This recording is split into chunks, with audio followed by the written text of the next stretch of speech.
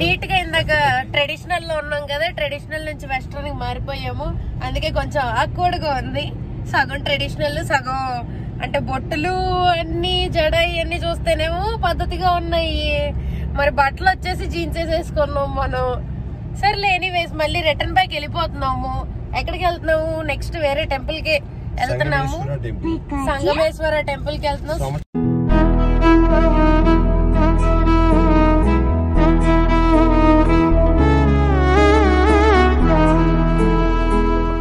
సంవత్సరానికి ఎనిమిది నెలలు నీళ్ళల్లో ఉంటుంది. మిగతా మూడు మూడు నెలల వరకే బయట అయ్యో టెంపుల్ అని చెప్తే బట్టలు మార్చుకునే వాళ్ళం కాదు కదా.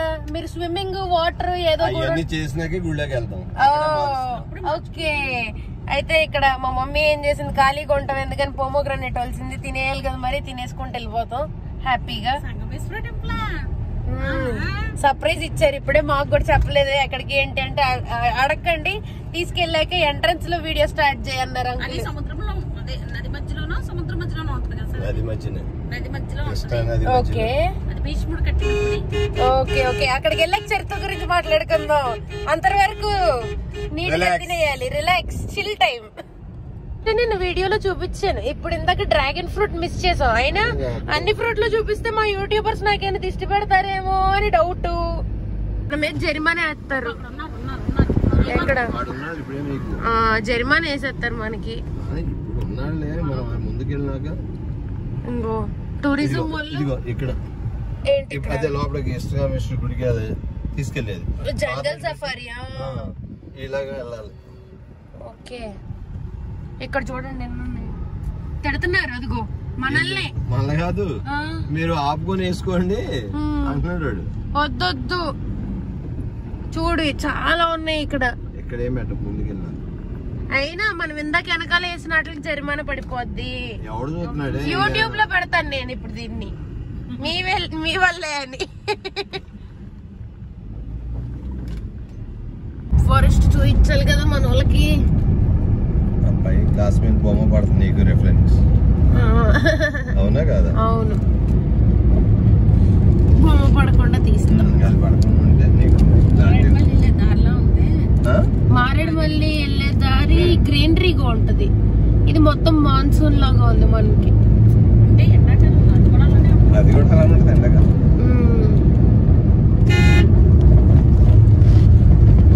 అమ్మా ఫైనల్ ఒంటి గంట అయింది ఆకలేస్తుంది. ఈసారి హోమ్ ఫుడ్ లేదు కాబట్టి ప్యూర్ వెజిటేరియన్ మళ్ళీ టెంపుల్కి వెళ్తున్నాం కాబట్టి సమ్ గీతా భవాని ఏదో వచ్చాం. Geetha Bhavan. Geetha Bhavan. Bhavan pure vegetarian food. ఏం తిందామో చూద్దాం అక్కడ మెనూని బట్టి. పదండి. సో వెజిటేరియన్ కాబట్టి నేతి బొబ్బొట్టు ఫస్ట్ తర్వాత పులిహోర. Pure vegetarian give thanks to farmer అని.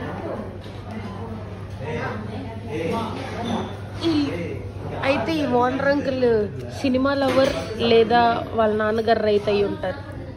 చాలా బాగా పెట్టారు కొటేషన్ వెనకాల కొంచెం. మళ్ళీ. అమ్మా ఫుడ్ తినేసామంటే బొబ్బొట్టు అయితే సూపర్ ఉంది. చాలా బాగుంది చాలా బాగుంది అని మా అంకుల్ ఏమో ఇంకో రెండు మూడు ఎక్స్ట్రా బొబ్బట్లు తిన్నారు. ఏంటండి బాబాయ్ గారు ముప్పై రూపాయలు ఎక్స్ట్రా వేసారంటే ఎక్స్ట్రా బొబ్బట్లు కన్నారు అప్పటి నుంచి నవ్వుతున్నారు పగలబడి పగలబడి నవ్వుతున్నారు. ఫుడ్ మాత్రం చాలా బాగుంది గుమ్మేసాం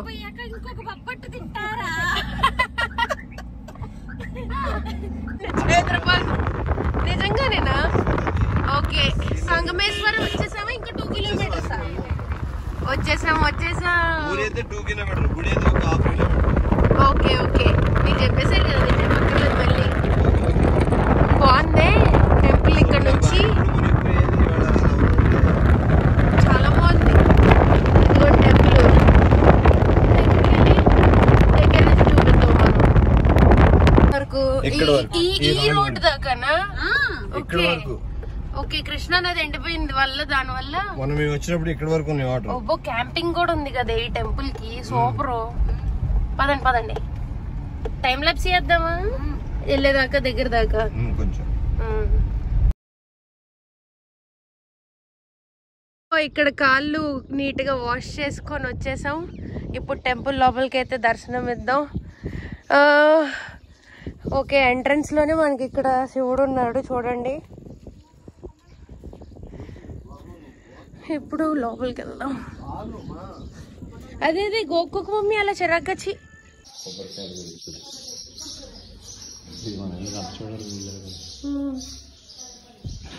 టెంపుల్ బాగుంది.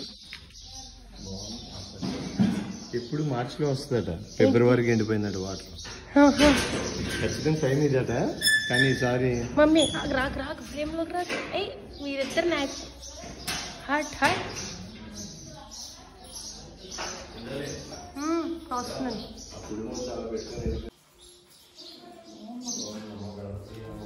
full stone temple.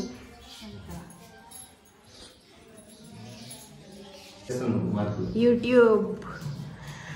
YouTube మార్కులు పడతాయా? మా వ్యూవర్స్ వేయాలి అవన్నీ.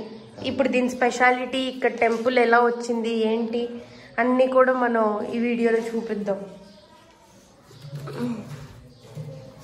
మన చేత్తోనే ఏ- ఏమంటారు మమ్మీ? ఆయనకి వాటర్ అభిషేకం చే అభిషేకం. కూడా చేస్తాం మన చేత్తోనే. నదుల సంగమం. కృష్ణా వేణి తుంగా భద్ర కులాపహారిణి భీమరతి భవనాశిని సప్త నదుల సంగమంలో ధర్మరాజుల వారిచే ప్రతిష్ఠింపబడిన నింబదారు వేప చెక్క శివలింగము ద్వాపర యుగంలో ఐదు వేల రెండు వందల సంవత్సరాల కిందట ప్రతిష్ఠింపబడినది. ద్వాపర యుగంలో పంచపాండవులు తమ అరణ్యవాసంలో ఈ ప్రాంతానికి వచ్చినప్పుడు వారితో పాటు ఉన్న కృష్ణ పరమాత్ముడు శివలింగాలను ప్రతిష్ఠించమని చెప్పడము ధర్మరాజుల వారు భీముడిని ఆదేశించడము భీముడు కాశీకి వెళ్ళి ఐదు శివలింగాలు తీసుకొచ్చే సమయానికి ముహూర్త సమయం ఆసన్నమవుతుందని వేపమొద్దును శివలింగంగా ప్రతిష్ఠించారు ధర్మరాజుల వారు. భీముడు తెచ్చిన లింగాలు సిద్ధేశ్వరం మల్లేశ్వరం కపిలేశ్వరం సోమేశ్వరం సంగమేశ్వరం అనే ఐదు క్షేత్రాలయ్యాయి. అయ్యాయి యుగంలో ప్రతిష్ఠించిన స్వామికి పంతొమ్మిది వందల ఇరవై ఒకటిలో శ్రీశైలం జలవిద్యుత్ ప్రాజెక్టులో నూట పదిహేడు గ్రామాలతో సంగమేశ్వర క్షేత్రం కూడా నీళ్ళల్లో మునిగిపోవడం జరిగింది. తిరిగి రెండు వేల మూడవ సంవత్సరం నుంచి ఎనిమిది నెలల నీళ్ళల్లో ఉండి నాలుగు నెలలు మాత్రమే బయటపడుతున్నాడు సంగమేశ్వరుడు. అమర్నాథ్ బద్రీనాథ్ కేదార్నాథ్ లాగా స్వామి ఉత్తరాయణంలో ప్రకృతిలో లీనమై దర్శనమిస్తున్నాడు. ప్రతి సంవత్సరం ఫిబ్రవరి మార్చి మాసాల్లో బయటపడి జూలై పదహైదు తర్వాత ఆలయం నీళ్ళలో మునిగిపోవడం జరుగుతుంది. మహాశివరాత్రికి ముందన్న బయటపడుతుంది శివరాత్రి అయిన తర్వాత నిన్న బయటపడుతుంది.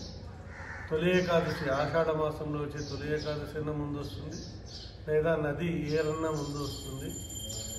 ఇక్కడ పంచపాండవులు వడ్డలు చేసుకున్న ప్రదేశము శ్వేతశృంగగిరి పర్వతం అంటారు. బ్రహ్మదేవుడు యజ్ఞం చేసుకున్న ప్రదేశము విశ్వామిత్ర గుహ గాయత్రి పాదము భీమలింగము భరద్వాజ మహర్షి పితృదేవతలకు పిండ ప్రదానం చేసుకున్న ప్రదేశము అగస్త్య మహర్షి తపస్సు చేసుకున్న ప్రదేశము ఇవన్నీ కూడా నీళ్ళలో ఉన్నాయి.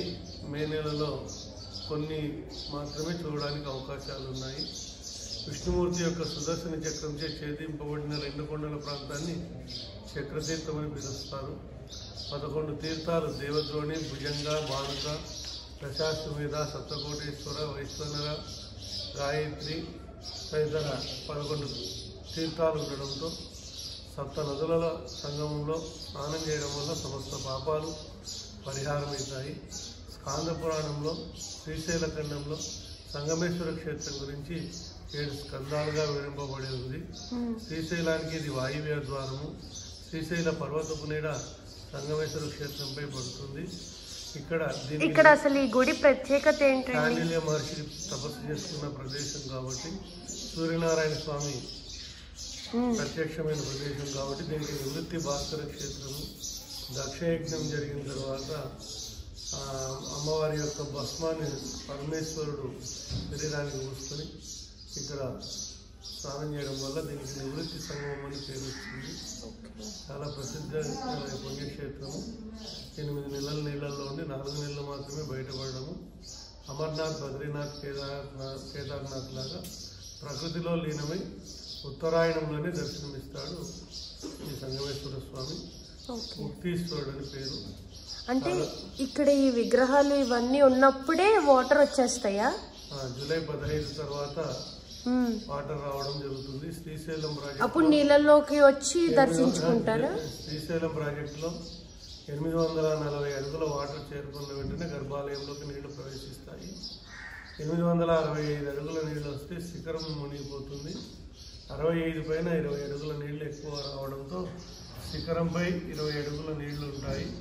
ఆలయం మాత్రం జూలై పదహైదులోగానే దర్శిస్తారు.